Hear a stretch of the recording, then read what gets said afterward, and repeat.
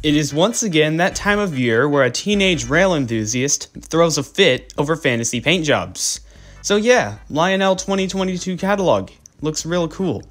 Can I just take a moment to appreciate that cover design that looks really cool?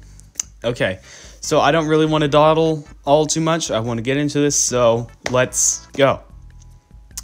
Now, here's the elephant in the room. We got two elephants in the room. First one, the Cab 3 thing. This honestly looks really cool. I know that the Cab 2 legacy system was like, it's over 10 years old at this point, so makes sense that they would want to bring in something new, and I'm sure that this will go very popular. With model railroaders, it looks good. I mean, I wouldn't be able to buy one because I'm not rich, but hey, hey, we can all dream, can't we? Now, the other elephant in the room, the Norfolk and Western Class A. This is the first thing that I heard would be in the catalog.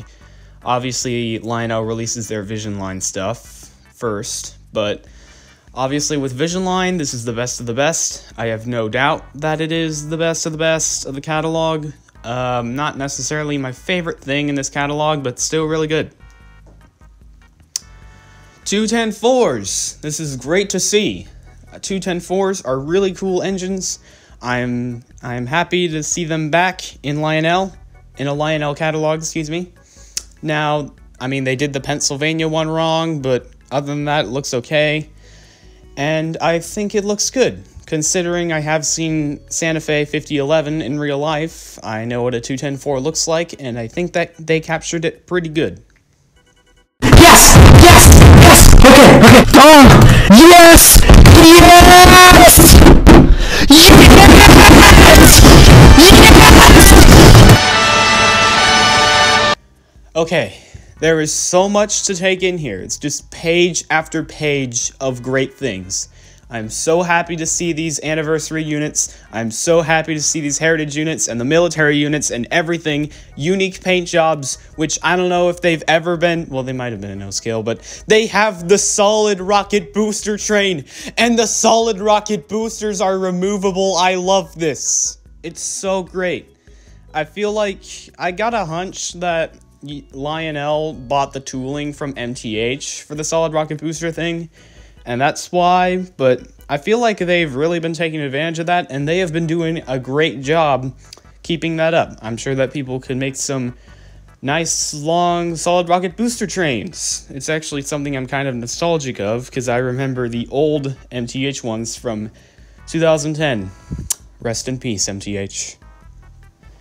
Okay, so now moving along to the O-gauge stuff. The turbine set looks really cool. It says you got new S2 turbine. Yeah, that was probably MTH RailKing tooling, and it's great to see it in LionChief form. There's a lot of stuff, former RailKing stuff in LionChief form, which looks great. And I am so glad that they've been following up with the Genesis, more paint jobs, more heritage stuff, They've even been introducing Amfleets. This consistency is amazing, and it's like chef's kiss, everything. It's it's great. It's beautiful. I love it. So moving along, uh, 44 tonners dash 8s, which are also likely RailKing tooling, and they look amazing. They all look great, and I think they'll.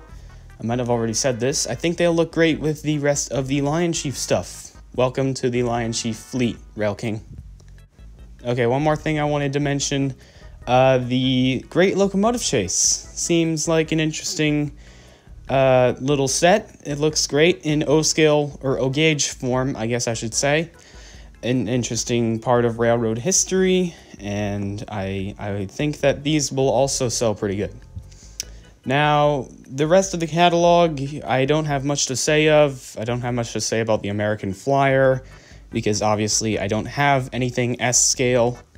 And the rest of the catalog, other than that, uh, it's either stuff that I've already seen, or I don't really have much of an opinion of. So I guess I'll do some closing thoughts here.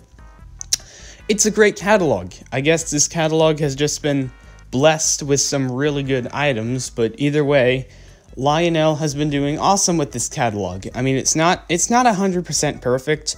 There were some things in this catalog that I kind of wished I could have seen, like different types of steam engines, maybe things like 210.2s or something like that. And one thing I've been wanting to see for a while is the 1970s auto train. I think that would look great. I mean, we've already gotten some passenger cars of it, so it makes sense, but I guess considering there's so much good stuff in here, I shouldn't really complain. There were a bunch of things that basically came out of nowhere and I think will shock a lot of people. Things like the solid rocket booster stuff.